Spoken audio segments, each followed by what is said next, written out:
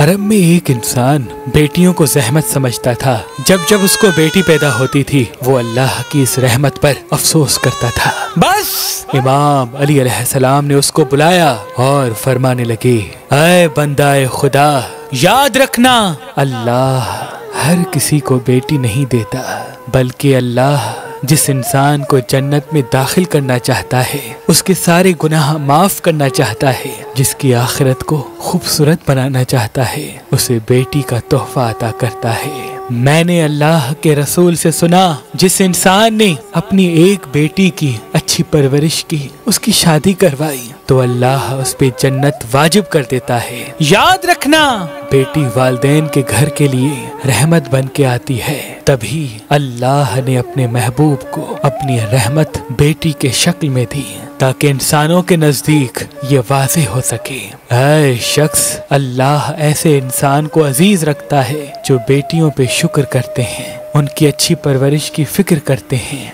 क्योंकि इस कायनात का अजीम तोहफा किसी वालदेन के घर बेटी का पैदा होना है। वालदेन के घर बेटी का पैदा होना है। इसी वालदेन के घर बेटी का पैदा होना है।